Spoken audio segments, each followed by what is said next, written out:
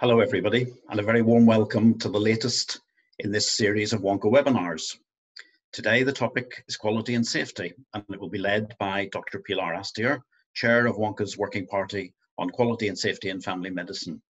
She's put together a great panel who you'll meet as we go along, but I'd like to offer a special WONCA welcome to Dr. Neelam Dhingra from WHO headquarters in Geneva. Neelam is head of the Patient Safety Flagship within WHO's Integrated Health Service Division and is a great supporter of WONCA and family medicine. Neelam, you're most welcome. As usual, we'll also be monitoring your questions and comments on both Zoom and Facebook, and we hope that there'll be time for Anna Stavdal to pose at least some of those to the panelists. But without further ado, let me pass over to our WONCA president, Dr. Donald Li, for his opening remarks. Good day, good morning, good afternoon, good evening. Welcome to the seventh WONCA webinar. We just celebrated World Family Doctor Day, and I thanked family doctors for sharing the burden of dealing with this COVID-19 global epidemic. Family doctors are continuing with their massively increased workload, but I'm proud of the level of support and collegiality displayed within and across our member organizations and from region to region. Family doctors all around the world disseminate scientific advice, clinical updates, reflective messages, and professional support through their social media links and connections. The WONCA webinar is a platform for all of you to share experiences, relay information, and to keep in touch with each other regularly, like family members, urging courage, offering mutual support in these extraordinary times. Next, please. Patient safety is the cornerstone of high quality healthcare. Quality in healthcare and safe care mean best health outcomes that are possible given the available circumstances and resources consistent with patient-centered care. The provision of quality healthcare in a safe environment should be universally available to all people, especially during challenging times which we are facing, combating COVID-19. Tonight, we have a panel of distinguished speakers who will identify quality and patient safety issues to improve primary care delivery during the COVID-19 crisis. It will cover a wide range of topics. So without further ado, may I pass on to Pilar, who will introduce the panelists. Thank you, Dr. Li. A very warm welcome to WOWAL attendees to this Quality and Safety in Family Medicine webinar. I am Pilar Astier, Spanish family doctor and the chair of the WONCA World Working Party on Quality and Safety in Family Medicine. First, I would like to thank WONCA World for their extraordinary support to make this webinar possible today. Next slide, please. Second, I'm delighted to introduce this wonderful team of family doctors from all over the WONCA regions. They are going to share with you in about three minutes each one some key messages of their knowledge and expertise on quality and patient safety issues in primary care while the COVID-19 pandemic. Next slide, please. We are going to talk about six quality and safety challenges, team organization, safe use of medications, telemedicine, professional health, community and public health issues, and finally, some practical issues on quality management. Thank you very much all panelists for the effort to be brief and concise. We have prepared an appetizer together for you with the aim to go on learning and improving so that we can all build an excellent and safe primary care even in crisis situations. I'm giving the floor to Dr. Anna Stavdal President-elect Owen World. Thank you very much, Anna, for your commitment on quality and safety in family medicine. Muchas gracias, Pilar. Um, warm greetings from Norway to everyone. Um, the COVID pandemic works as a magnifying glass. Strengths and weaknesses of our healthcare systems become more visible. It provides us with an opportunity to identify where we can improve in all the domains of family medicine, it being clinical practice, teaching, research, or advocacy. Next slide, please. Family doctors continue to do what we always do, provide care to our populations in accordance with the core values of our specialty. The values which unite us despite global differences in how our services are set up and delivered. We provide continuous, comprehensive and personal care at first point of contact. That is our common denominator and our common point of departure, looking at improvement of health care quality. Next slide. What changes are we going through as we speak? Person-centered medicine used to mean face-to-face -face contact, using body language and physical contact as important tools in diagnosing and treating disease, in comforting people in crisis, and alleviating pain. Now we need to take preventive measures and reduce physical contact, often looking into the eyes of our patients through a shield or on a screen. For our patients, it means that there is a risk of being left without home visits if you're old and sick Patients with chronic disease are reluctant to come to the doctor's office in fear of being infected. In previous webinars, we have also learned how mental health issues are increasing during the pandemic, and so is the risk of family violence. Digital diagnostic tools are flooding the market to assistance, but also frustration for patients as well as physicians. That is the environment in which family doctors now look for ways to improve equality and safety. And as always, we need to take not only the doctor's perspective, but also that of the patients and of the policymakers to report back from the field and that way help them to make good decisions. Next slide. But without listening to people, no healthcare quality improvement is possible. So we will listen to you, participants in the audience. During a series of short presentation, we invite you to share questions and observations. We have Jose Miguel Bueno Ortiz and Laura Conangla from Spain monitoring the chat and Ruth Wilson from Canada, the Facebook feed. After the presentations, they will connect questions from you to the panelists. Enjoy the presentations and give us feedback, please. It's now my privilege to welcome David Moores. David, the screen is all yours.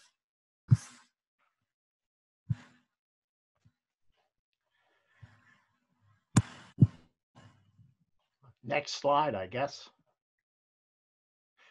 Good morning uh, or good day, WONCA colleagues. Canada is the second largest country by land size in the world, but we are only 36 million people. One might say that we are more naturally socially distanced uh, than many other countries. In general, we are 13 publicly funded uh, but privately delivered health systems, much like the NHS England, NHS Scotland, NHS Wales, and Northern Ireland co-payments and bankruptcies as a result of out-of-pocket expenses are not issues that Canadians have to endure. Next slide.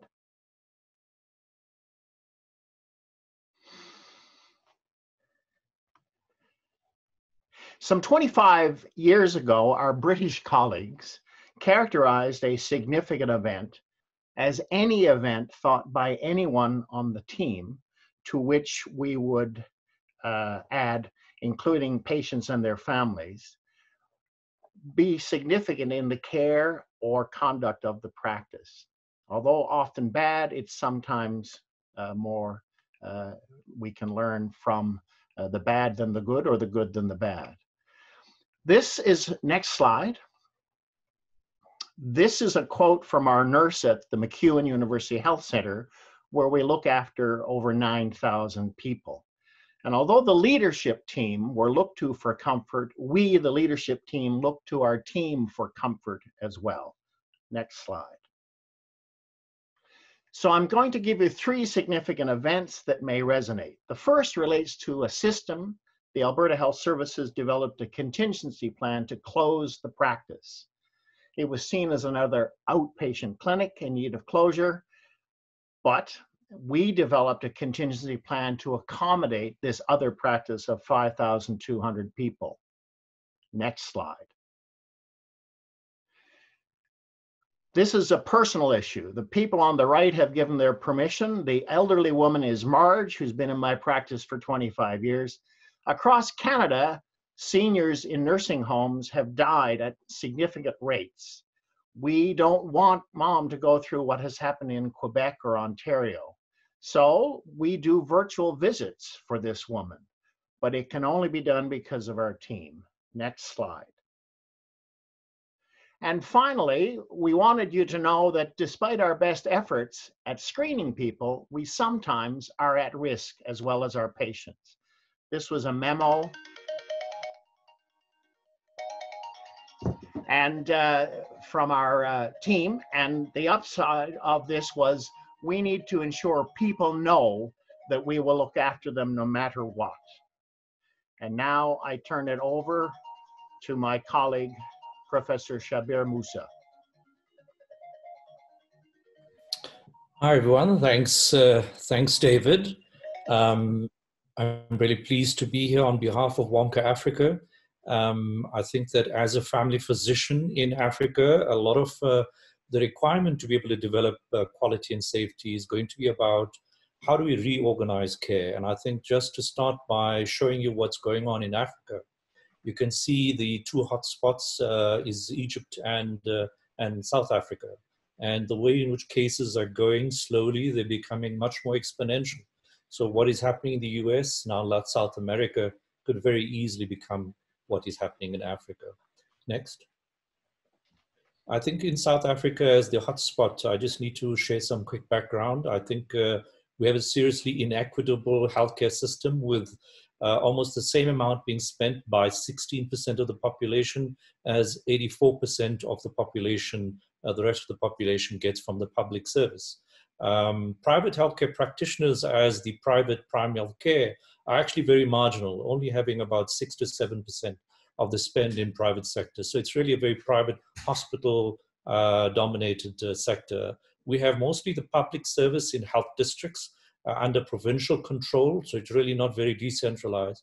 And I, as a public health practitioner, public family physician, work in that space with really very poor capacity available. Next. So in South Africa, the uh, the trajectory of um, you know of uh, COVID has been uh, not quite the same as the rest of the country, uh, the rest of the world. Uh, as you can see, there was an inflection point, which happened in our country with a very dramatic lockdown, um, which has been one of the more stronger in the country. Uh, yet, I think we're still not getting ahead of the curve in the sense that it's growing, growing slowly. So if you go to the next slide, you'll see next you'll see that in fact as projections go in south africa that we're expecting you know projections of up to 1 1.2 million infections. Um, we expect at least uh, at least uh, in a sort of ballpark of 45,000 deaths. Uh, these uh, projections uh, everyone qualifies them by saying while they depend on how the the you know disease um, uh, you know sort of evolves over the next few weeks uh, but this is clearly in everyone's language as this is going to exceed our capacity, as you can see, by the ICU beds by enormous numbers. So if you go to the next slide, um, I'm going to share with you a little bit of how team reorganization has occurred in one district. So you can see Gauteng is in fact a very small geographic space in the population of 57 million, which as you can see on the right is about 15 million. And right at the middle of Gauteng is the city in which I live, which is called Johannesburg. Um, and in Johannesburg, there are seven sub-districts, and you can see the sub-district D is Soweto. Uh, it is uh, almost a third of the population of Johannesburg, and in that I provide clinical governance uh, supervision in the 29 facilities in there. Um, I also am linked to the University of Witwatersrand, but I provide direct care to patients in, a practice uh, in one of five community health centers in that region uh, in a space called Chiawelo Community Practice, where I have a population of about 30,000 that I work as a team to provide. So next. What we have found in terms of the public service generally is that uh, we have lots of people coming to very few facilities with very poor physical distancing. And as you can see in that picture, it makes for a very anxious um, situation where staff get very anxious. They don't often have good PPE. They don't manage those queues very well. And in fact, as a result, they've tried to reduce services, which is a real problem for our long-term health. Next. So in terms of how we address that, initially in the public service in Gauteng, uh, the health service said, you know, we basically are going to go around and find contacts of people we've identified, usually at hospitals or by virtue of um, them being picked up in the private sector. And so it was a very strong public health orientation that stopped at a sub-district level, on paper almost. And at clinics, we said, but this is not going to address the problem because everyone walking in with a cough and a cold, despite the travel history, could potentially have COVID. Um, so we set up a process at the facility itself and uh, essentially saying that we need to reorganize the facility to cater to dealing with um, uh, uh, COVID patients in what we call a temperature clinic, reaching out into the community and trying to establish how we can work with as a partner with the community in education, but also with our community health workers going out and finding patients as well as educating in terms of protection. And then we thought we would link up with the sub-district effort, both in terms of supporting the, the facility as well as integrate with this public health approach. We used a similar thing to similar idea with the private GPs to provide them some advice. Next. But if you look at it, we basically set up, you know, trying to get work with the team, three sort of zones. Uh, trying to manage the queue outside with physical distancing, getting a single point of entry, some sanitation, and then a very simple screening with community of workers that try to decide, you know, with a few questions that we screen with, do these patients have any symptoms? And if they do, then they go into an area we call orange, usually something that were, we set up as a chest clinic, and then a, uh, the rest of the service would continue. And this was a way in which we would manage, uh, you know, the staff, patients, as well as continue uh, the services and increase the testing. Next. So it has been quite challenged. Uh, it has worked quite well in certain spaces. Um, and as you can see, it uh, takes a lot of paint, tape and the like, but these resources are challenged. Uh, go next. So in terms of, next. In terms of progress, we've set up about seven, um, seven facilities, um, 11 facilities, and these have been the large community health centers across the city. Um, but our challenges remain if we are going to scale it up and cover all 130 facilities across the city, we need testing uh, you know, arrangements to be clarified, materials, staff to be aligned to the purpose, and other things like that. So this has been a focus of our training in the last few weeks. Thanks. So with that, I think you know there's some resources we put out as well to guide the community and uh, um, you know the the other team members. Uh, and this is available to our partners. Become quite a powerful way to manage the process. So with that, let me hand over. I'm not sure whether um, David will take it on, but uh, thank you very much. That's the team that's produced it. But let's hand over to Neelam. Perhaps you can share WHO insights. Thank you, Neelam. Good afternoon, everyone. Could I have the next slide, please?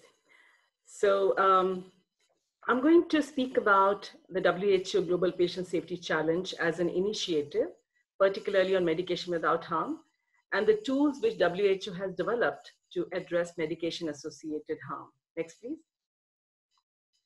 WHO has launched the challenge of uh, uh, selecting a topic which uh, poses a major and a significant health risk to patients. And these challenges have been uh, to implement proven interventions in a specified area. So, so far WHO has issued three challenges to the global community.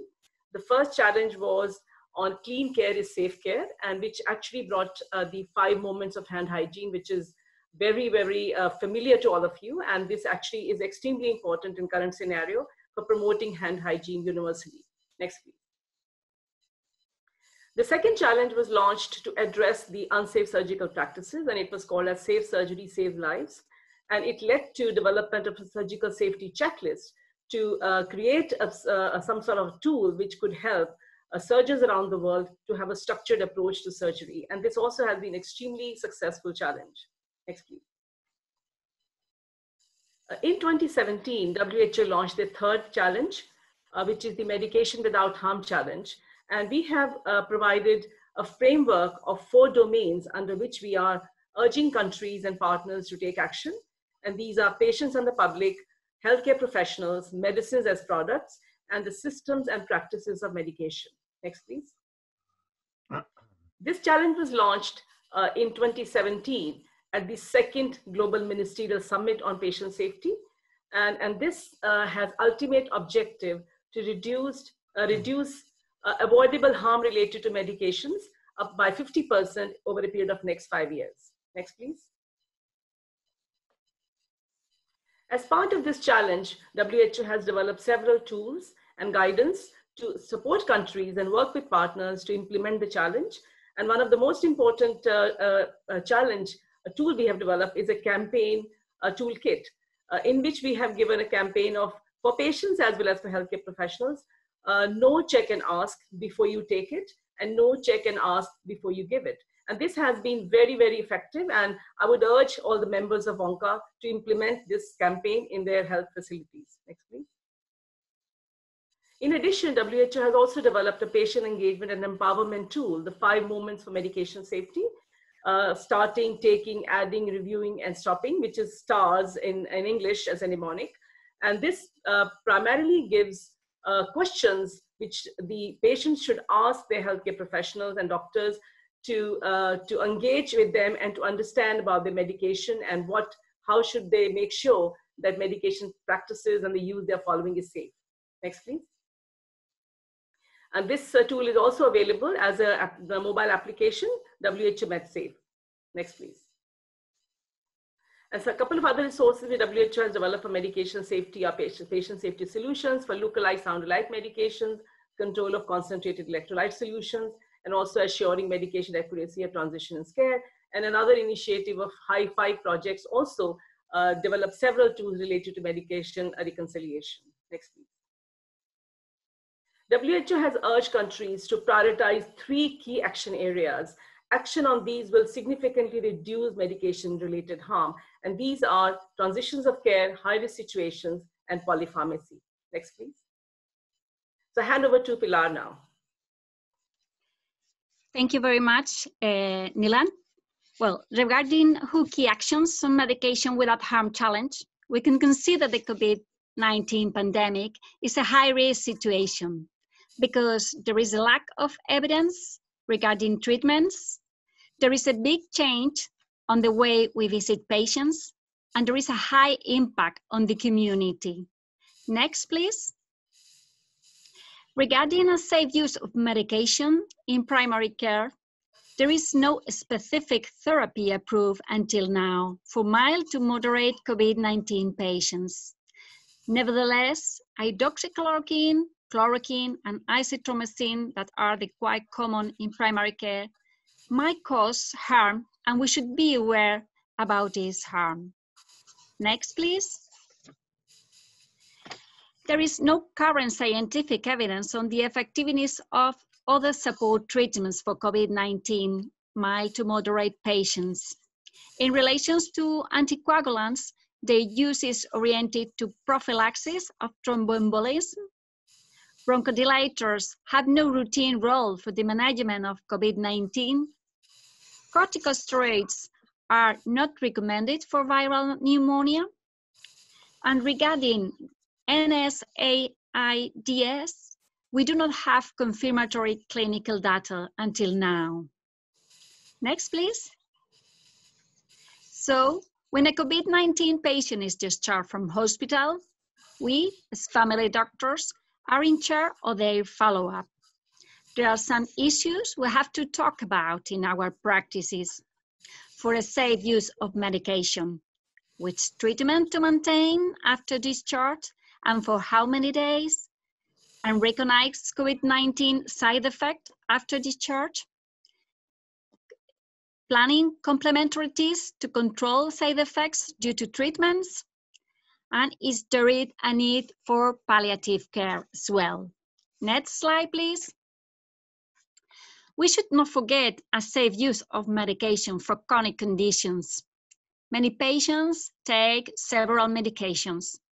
Family doctors should be aware with regard to the accessibility of medications and ensure safety medication intake by answering any questions that may arise with patients and caregivers. Next, please. Some tips a stay-home message for your surgeries. Agreeing on common recommendations for the treatment of COVID patients in the team. Ensuring a safe medication.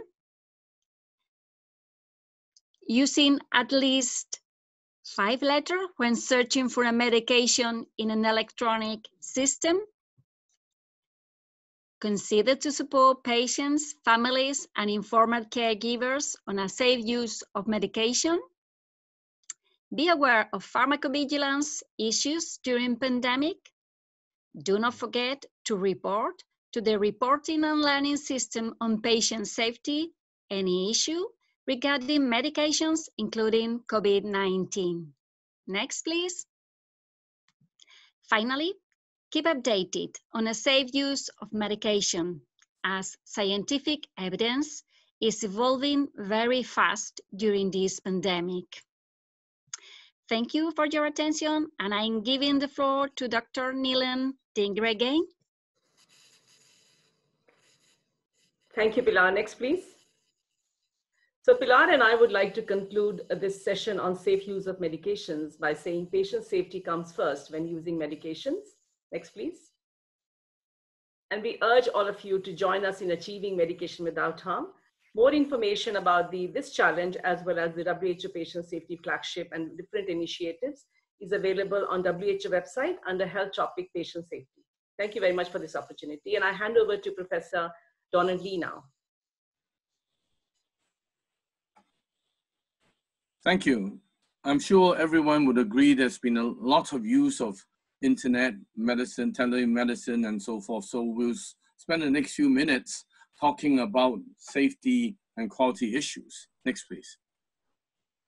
Advances in technology can impact on quality and safety provision of online healthcare, providing solutions to present difficulties and challenges.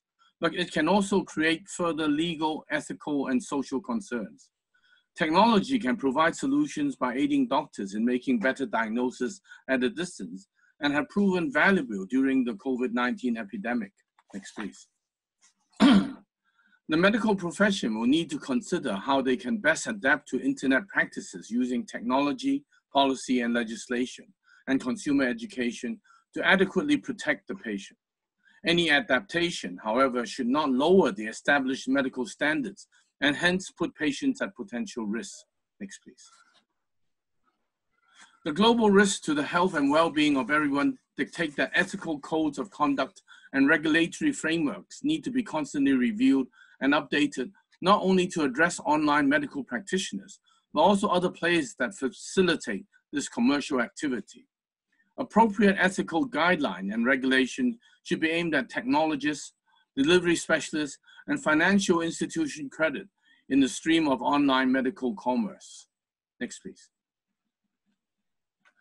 The need to protect consumers from potential harmful consequences of online consultations should be a core principle guiding the conduct of all commercial entities. Perhaps the only way forward into the future is for more international consensus, cooperation, and agreement to establish global ethical and regulatory standards for online medical practice to safeguard medical practitioners and recipients of medical advice and treatment. So now the chair of our WONCA eHealth, Dr. Pramendra Prasad Gupta will continue our presentation. Pramendra. Thank you, Dudal. I'm going to speak on benefits and challenges in the implementation of telemedicine, e-health related to COVID-19. Next slide, please. The primary care physicians are working tirelessly in the front lines at ground zero. Next slide, please. Next slide, please.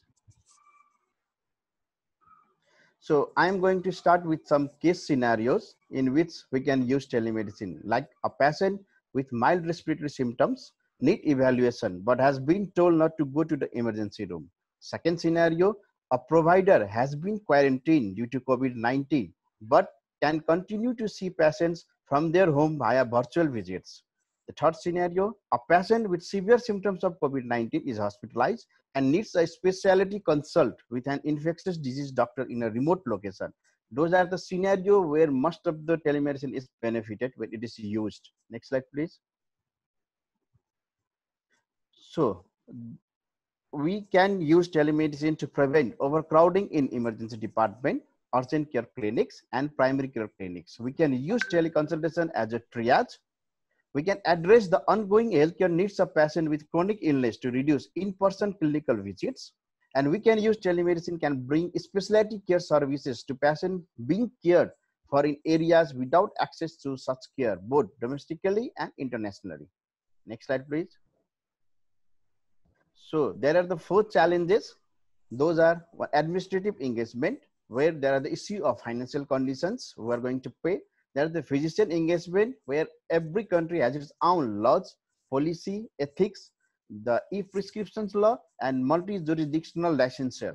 Then there is the infrastructure engagement where there is issues like connectivity issues like broadband, training of staffs, hardware agnostics, and sustainability engagement where reimbursement by payers.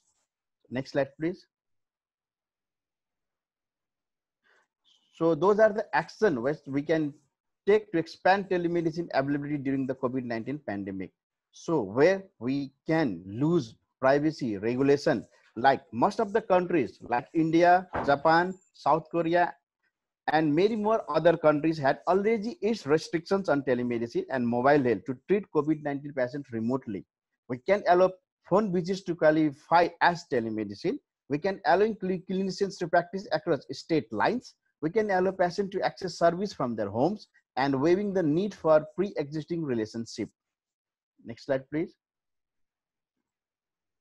So I will conclude by saying that telehealth is bridging the gap between people, physicians, and health systems, enabling everyone, especially symptomatic patients, to stay at home and communicate with physicians through virtual channels, helping to reduce the spread of the virus to mass population and the medical staff on the front line. Thank you. Thank you for listening. I will hand over to Harris now.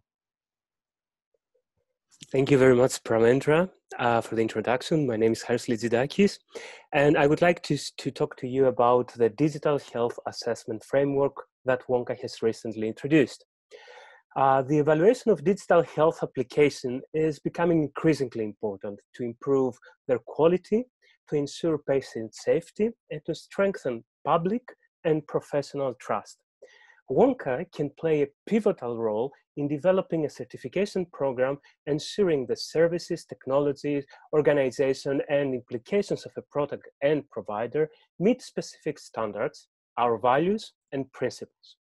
So, driven by our guiding principles, we uh, performed a um, research, perform a desk research on topics uh, which may be important for the assessment of digital solutions uh, from the perspective of family doctors. And an initial set of topics was created, was gathered and clustered into 11 thematic domains, uh, reflecting in uh, 112 in a 112 item questionnaire. Uh, we then ran a pilot together with the Ping An Good Doctor uh, company uh, and in order to um, uh, assess the um, and judge the conformity according to uh, the standards that we set. Now, this framework includes 11 domains of evaluation ranging from user aspects to healthcare system and ethical matters. Uh, the ratings are translated in uh, outcomes along three dimensions, the comprehensiveness of the services provided, the scalability to other settings, countries, and healthcare systems, and the validity and availability um, of evidence, such as cost effectiveness. A traffic light style rating method is employed to judge the three, to judge the three dimensions as an indication for the level of conformity with the WONCA standards per dimension. So we will be further developing the assessment framework uh, with the help of the eHealth Party and other partners. Now, it is my pleasure to introduce to you Dr.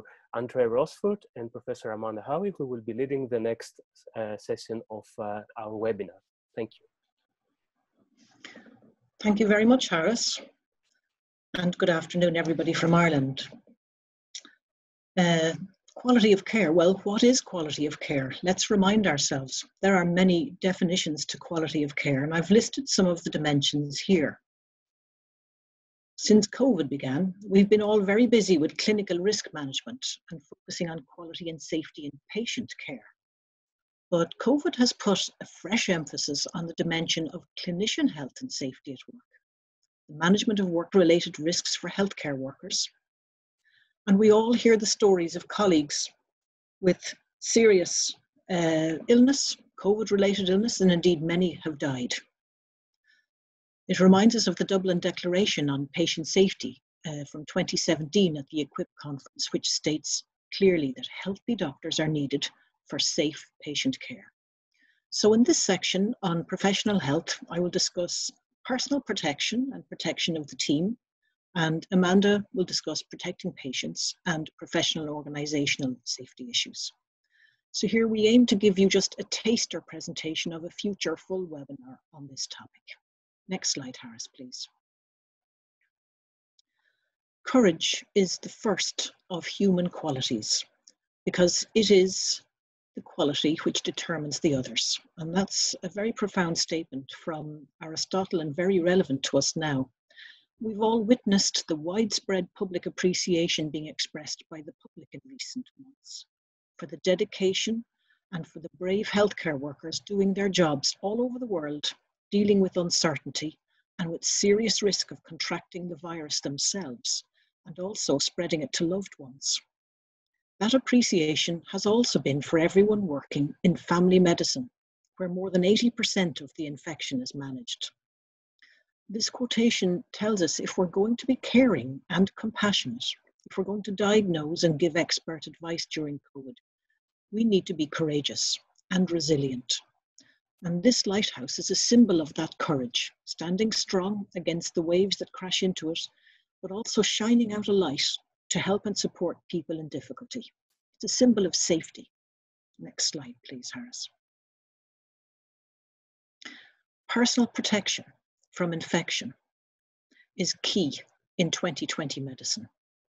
With many people asymptomatic, this can also be a real dilemma We've been postponing or avoiding procedures that are risky. We've been using PPE for face to face care and using added protection for our staff. It's really important in these stressful, busy times of telemedicine not to neglect our basic physiological needs of water, food, and sleep. Psychological health and well being is so important for patients as well as for family medicine staff. And the experts tell us that this will be even more important in the future as there is an increasing incidence of patients with anxiety and post traumatic stress disorder following their own experiences of COVID. Remember, these are our patients too. It looks like the model of the COVID pandemic is more of a marathon than a sprint. Well, of course, family doctors are resilient, but these are unusual circumstances. We know that education and training can help develop resilience, while meaningful purpose and values and a good social network can help to nurture it. My college, the ICGP, for example, has been supporting GPs through COVID by coordinating latest expert data and guidance and distributing it through email notifications and the website and webinars. One of these streams has been self care bulletins for GPs, and advice on sickness absence and returning to work has also been coordinated because many cl clinicians in family medicine have their own illnesses and may be taking medication, for example, that may reduce immunity of that healthcare work to infections. And I think the key message here is GP care for GPs and for practice staff is vital. Next slide, please, Harris. Thank you. I think we need to acknowledge when we're talking about protecting the practice team that many GPs are solo GPs, single handed, right across the world in both rural and urban settings. And these GPs have particular risks of professional isolation and potential burnout. COVID is very challenging for them, and so is teamwork. But like all of us, in group practices or in solo general practice, we need to be innovative and we need to coordinate tasks with other members of staff and indeed with other practices nearby or virtually with other practices that are more distant to us. We can look to sharing on call, covering each other for absences or for fatigue when we may need to take time out, and look at developing a shared rota for keeping each other up to date from reliable sources and managing the information overload that's coming our way. It's okay to be worried. It's okay to ask. And if we can include everybody in the practice team in clear briefings, know who to go to for decisions and coordination, and look at workload distribution. And risk stratification has to happen for staff as we do for patients so that the least vulnerable staff do the, do, do the most face to face. So I'll just finish with call your family doctor and let's remember World Family Doctor Day 2020. We are on the front line. And at this point, I'd like to hand you over to Amanda Howe. Thank you, Andree. Greetings, everybody. Um, some of what I'm going to say is more like a summary at this stage because some of the points have been made already. But one of the big things that we've had to pay attention to in every country is how to protect the patients from uncertain risk. And in the UK and England, where I work, of course, general practices have stayed open. And of course, it's been an absolute priority to maintain patient access to healthcare. But in the initial phase of the COVID crisis, we've altered how we do consultations so that all our patients are being triaged by phone before they have any possible face to face contact. Sometimes, as time's gone on, we've already started using online request forms. We are using a software called Footfall, where if people can fill in the reasons why they want the contact, how to give the contact, what they're expecting, when they can be called back, then by the time I'm looking at that as the GP, a lot of them have already been answered by other people. And that's very simple, asynchronous way of putting in that first request. Then we can proceed to phone, video consultation, emailing, sending photos in if it's a rash or something like this. And this is helping us really to get the message to people don't come down to the clinic first. If they do come to the front door, the front door is shut. And as Shabir was saying, we have, you know, screening and temperature checks, and we're only allowing people in who we've already agreed can come down, or if we're absolutely sure that they are safe to come in. In addition, in terms of protecting patients, as with most countries, the UK spend a lot of energy on risk stratification. And we have a group called Shielded. If people don't know about that, they can look on the NHS website, who are the most vulnerable. And there's been a lot of clinical discussion about that group because, you know, some people who are older, very fit, but age is a factor. Some people younger, chemotherapy patients, dialysis patients, you know. And this group are being very restricted in their access. And again, as practice, we've had to think, well, for them, you know, how do we keep in touch with them? We're making more proactive calls. We're also saying if we need home visits, you know, we will go in full PPE and we will have to do that for those people because they are the most vulnerable. And finally, we've seen a big reorganization in the clinics across the different cities or different regions in England, like Shabir was describing in Johannesburg, where we've got some areas that are called hot hubs, not necessarily the hospital, but a clinic with enough space, entrances, protected areas, full PPE to see patients who may have COVID before they are sent to the hospital. And cold clinics, so that there are also places where we think, as much as possible, patients won't have been contacted and staff won't get contacted by the time they actually come face to face. So these are some of the ways we've adapted, and we think that some of these will continue. Next slide, please. The other thing is we've had to think very hard as WONCA member organisations like me and the Royal College of GPs and my colleagues about what we can offer our colleagues, um, our members, their staff, their patients.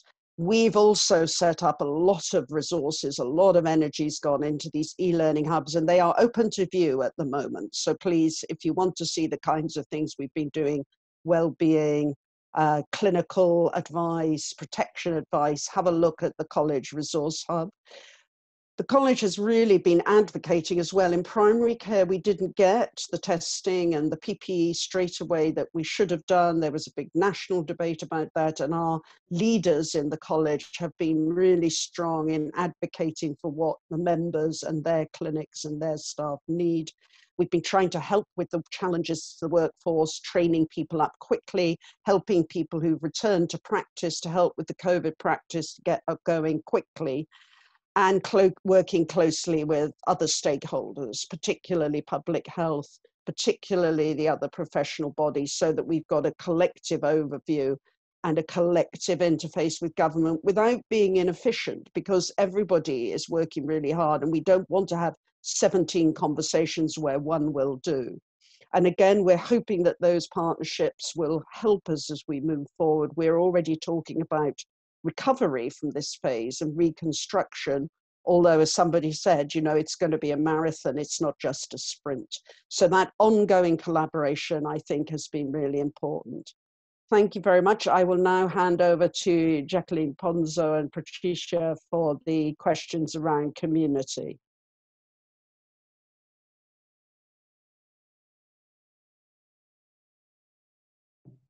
Sorry. Hello, everybody. I'm from Brazil. I will talk with Jacqueline about the main challenge of community intervention in the context of COVID-19.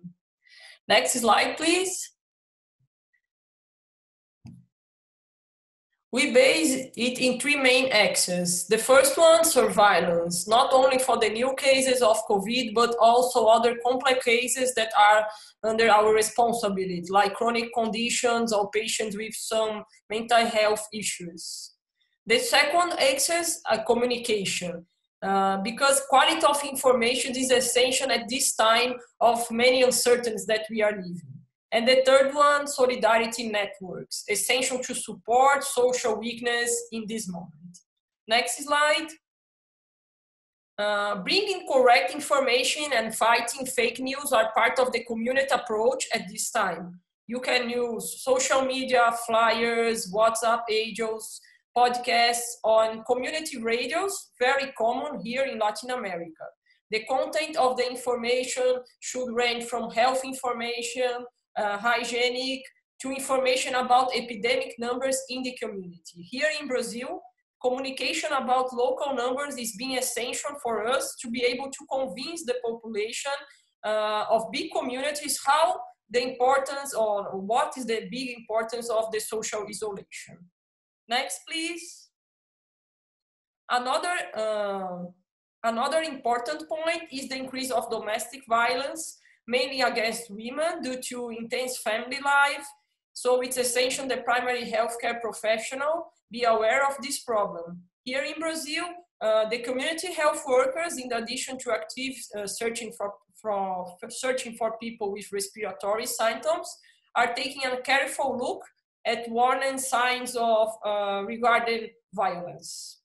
To deal with this problem, we need to active social support networks in the community. The elderly is also a population at risk for COVID and therefore they need help uh, with their daily activities such as food, groceries or purchase medicines. They also need help to chat and talk with friends and family using social media. So the healthcare team must connect them with solidarity networks. In addition, it's important to be aware of signs of loneliness and increased risk of suicide and to seek support in the community itself. COVID brings a new challenge to primary healthcare and like making shared decision or delivering difficult news from distance. So we, we as professional primary healthcare professionals, we must learn new skills mainly related to patient communication mediated by new technology. Next slide, please. Uh, another important is, com is community mental health. Its demand is increasing now. There is a lot of fear and stress due to confinement and uncertainties about life. In addition, many families will have to deal with the death of loved ones, with insignificant financial loss, and many are also essential workers like drivers, supermarket workers, cleaning personnel. Therefore, teams must be prepared and offer alternative for remote mental health care. Next slide, please. Last but not least for us, uh, is the issue of social isolation in suitable places, especially in our countries or in countries that have many areas with high population density, so it is difficult to do social isolation in such communities. In this sense, building partnership with the social assistance secretariat to provide adequate place for centralized isolation of mild case of COVID is an alternative and it's being used in several countries with good evidence. It's also necessary to offer masks and alcohol gel to people who are unable to buy it, and that's very common. Next slide. Thank you very much. I would like to introduce the next speakers, Richard Roberts and Jinan Usta.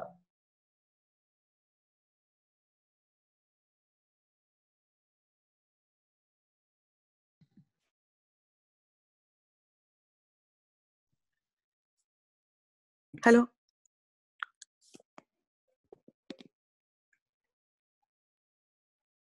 Perfect. Jinan, you can go on. Hello. Greetings, everyone. Uh, I'm sorry, I, I, uh, the connection is so poor. I'm not able to go on video. Um, first slide, please. Uh, there's no doubt that uh, COVID-19 pandemic has pushed the healthcare system and and even the patients uh, uh in services uh, to, to, deliver services in very unfamiliar way, and patients and healthcare providers were both unprepared in this new. Um, the telemedicine lacks essential aspects of patient evaluation, and this is why it may be considered a bit to be substandard. Like, for example, we cannot do a physical exam. We're not able to access the, uh, we're not able to uh, notice the nonverbal cues.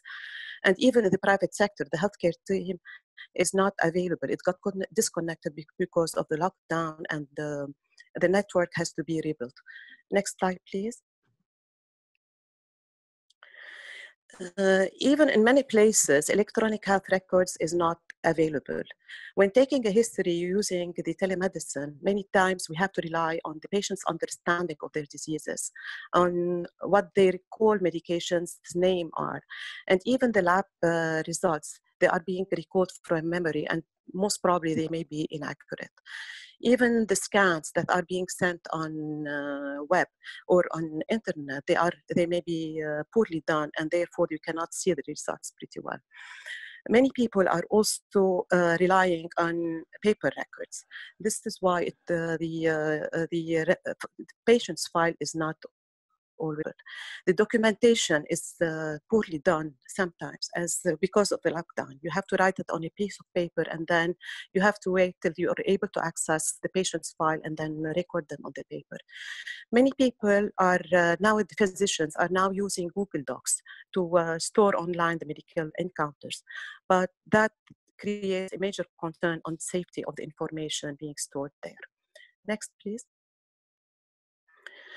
Uh, medicine, the med medical encounter rely on two senses, the vision and the auditory. Uh, the auditory is not the auscultation. It is basically what we listen uh, when we take the patient's history. And these also have some limitations. When I'm looking at the patient uh, using my screen, I wonder whether he has jaundice or uh, he is pale.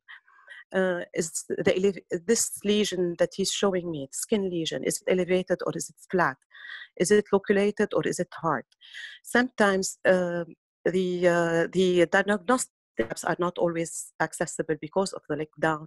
People may not go there either because of lockdown or they are afraid of getting uh, COVID. And even the financial situation many times may not allow them to go and uh, request and or do blood, uh, blood tests. Therefore, we rely also on patient-generated data. They have to take their own blood pressure. They have to take their own uh, dextrose which or temperature, which raises concern about the appropriateness of the doses and the uh, reasonability of the decisions we are taking. In addition, we have to operate with guidelines that have been done not using for uh, normal days when uh, we were not using telemedicine. And we wonder whether these guidelines do apply in uh, these times when uh, telemedicine is being used. And maybe a, uh, a good thing to do is to start having developing guidelines and algorithms. This is something that probably we can work on uh, with WONCA. Now, one more thing that may affect the safety and the quality of the encounter is basically the privacy. In lockdown, uh, how much can we make sure that the patient is private uh, is ha- we're having a private encounter the, uh, with the patient. To what extent can we con- ask uh, intimate questions, questions like about family violence? Definitely, we cannot. Next, please. And uh, there, there's still places where we're doing face-to-face medical encounter. Now, the face-to-face medical encounters are limited to urgent cases, and usually it is by appointment. There is phone triaging uh, to rule out possibility of COVID and access the urgency, accuracy of phone triaging is uh, variable. Even with COVID is suspected, the sensitivity and, and specificity of the available test is variable, and therefore it is something to be considered whether with the patient who's presenting with a negative COVID test, to what extent they are uh, definitely negative. There is always the possibility of false negatives.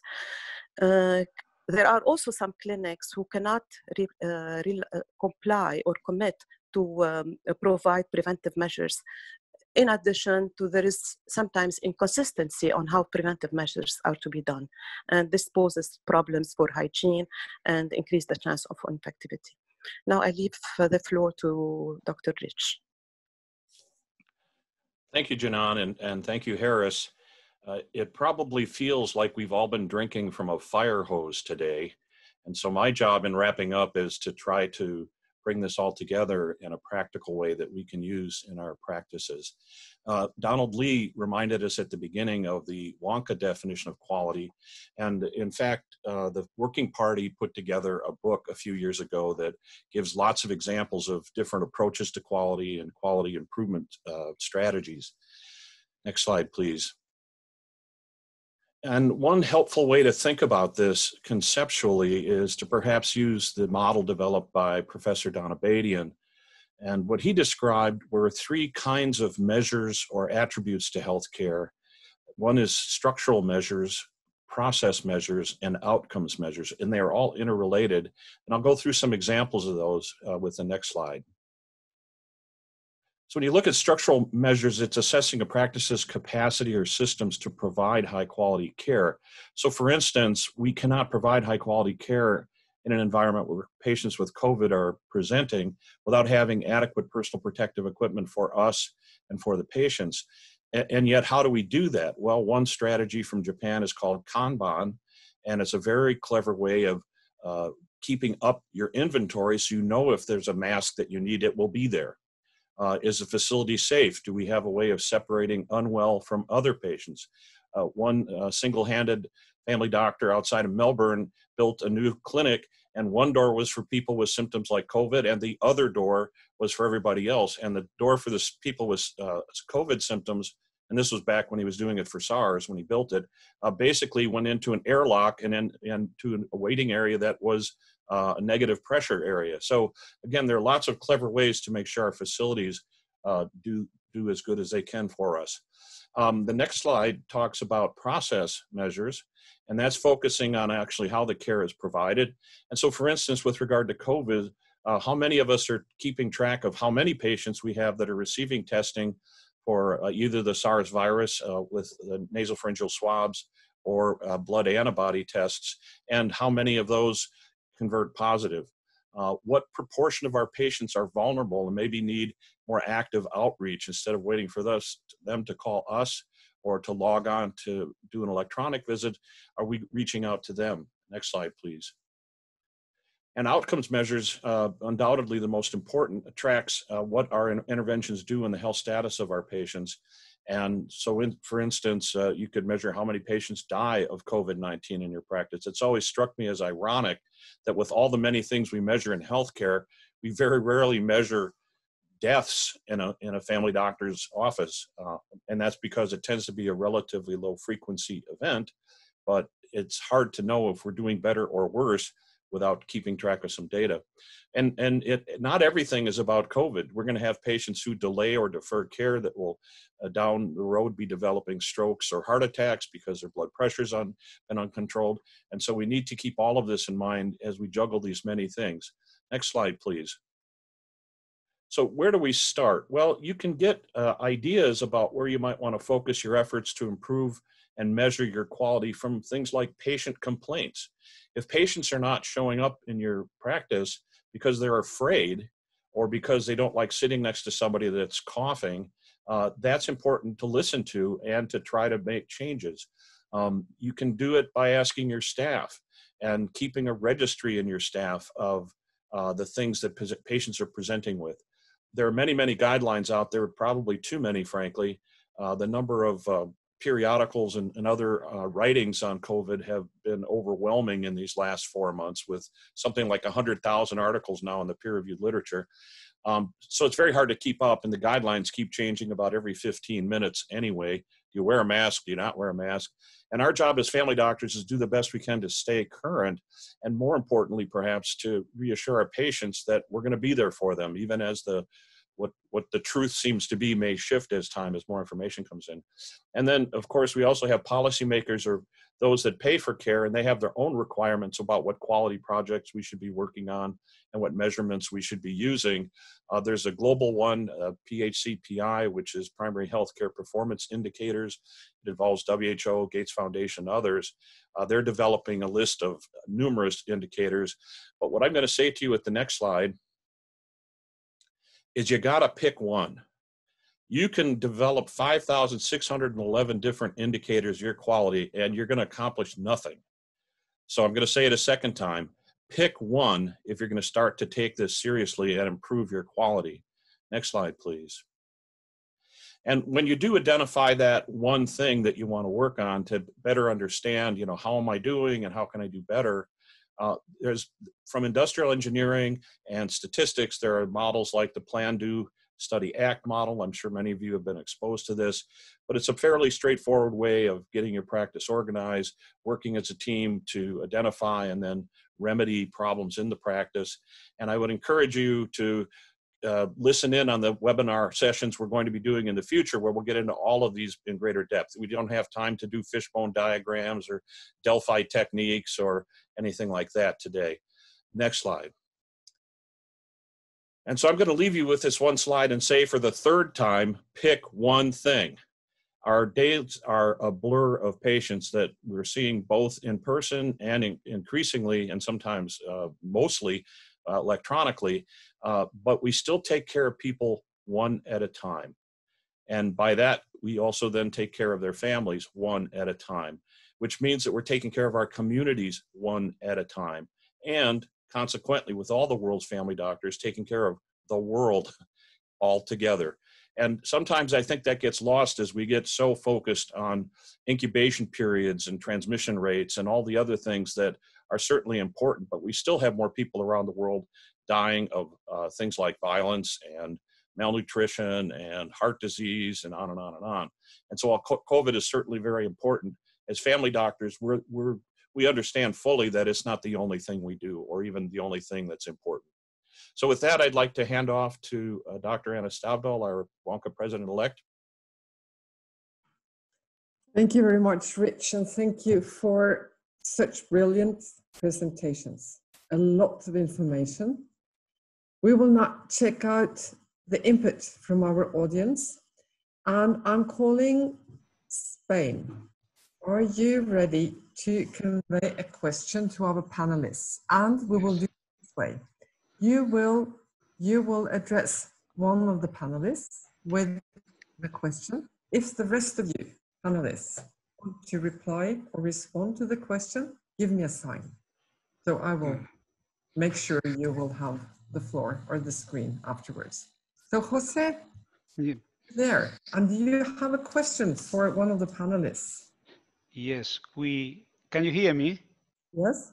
Um, well, some our webinar participants are worried because of the care we neglect to patients who are afraid of catching coronavirus and do not come to the health center or to the to our practice.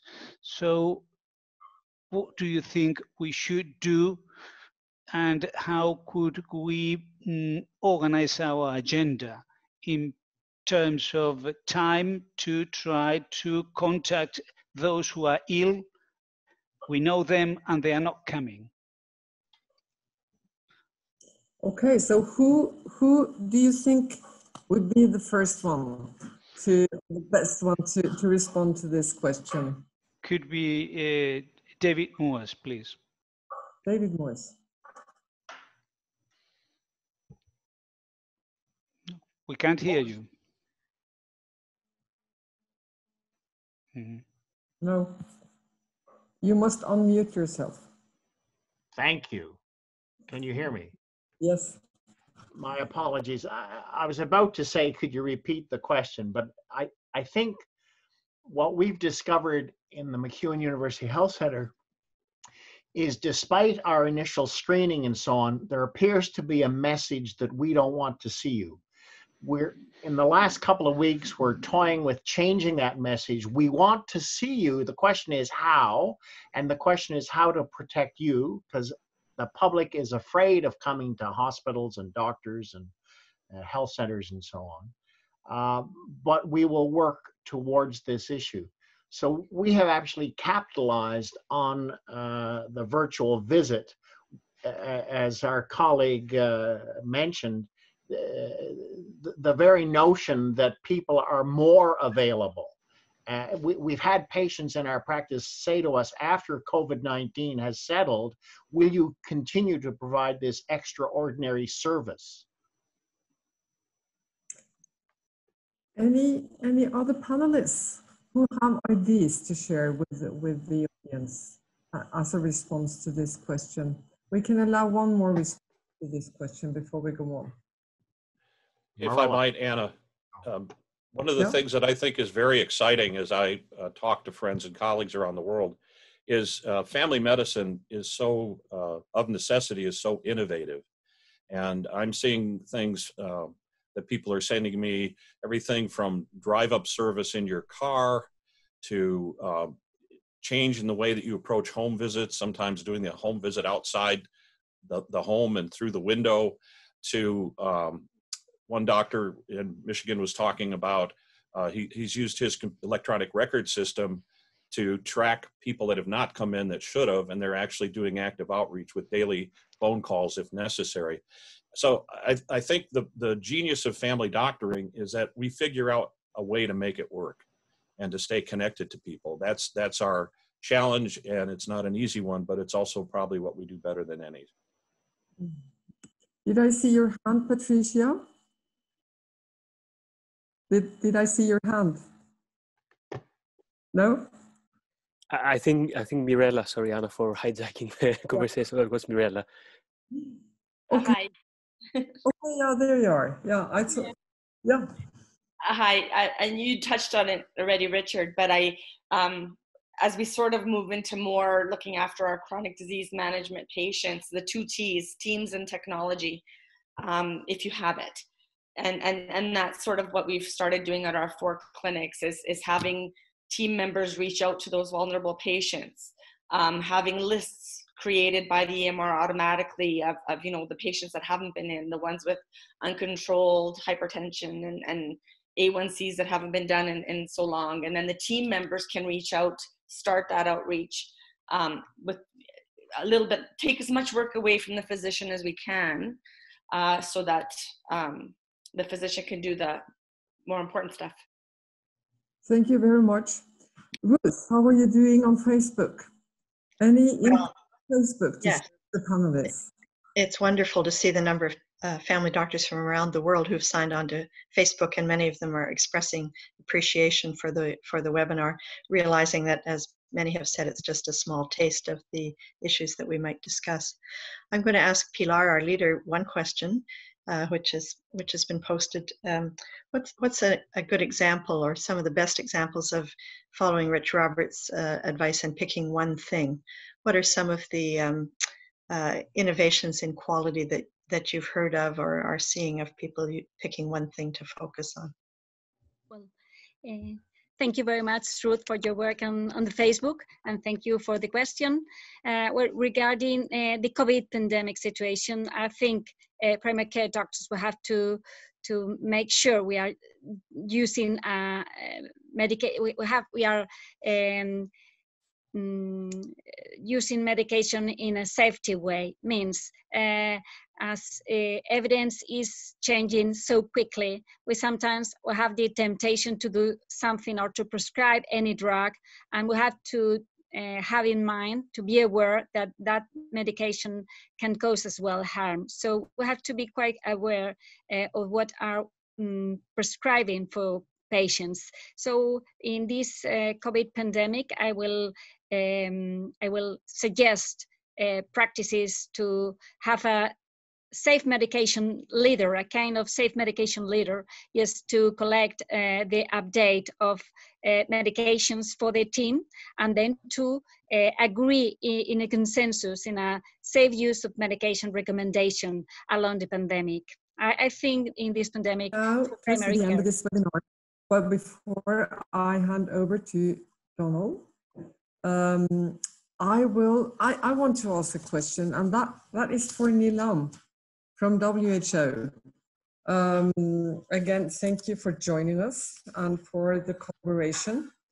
Um, can I ask you just what sort of input you um, you have got from this webinar, taking back to your uh, to your work in the WHO? So um, I, I, uh, thank you for this opportunity again, and I think. Uh, um, but uh, for me, the, the whole uh, comprehensive approach to uh, patient safety and quality has been addressed uh, in this webinar. And uh, particularly been going forward with the, um, with the coronavirus pandemic still evolving in many parts of the world. and you know, till the time there is a vaccine available, which is safe and effective, this will change our lives for for long, you know, for in the medium and long term to come. So um, innovative approaches uh, is something which really I think is a very important take uh, take home message for me. Uh, on also um, how do we effectively and safely utilize telemedicine uh, in this uh, in this uh, journey of patient care. So it's not only about COVID patients as well. It's also about patients who are who are not accessing the healthcare system as of now, to build their confidence into, to assure that safety and, and uh, you know, timeliness of their treatment, and make sure that in this time we have different approaches rather than what we have been, uh, you know, using, using for years uh, so far, to have more newer approaches, how we can reduce the risk of infection and still uh, provide timely uh, care for patients. Diagnostic safety has emerged as one of the major challenges as well. So I think there are certain, uh, in, so this is another take um, home for me is diagnostic safety and of course medication safety.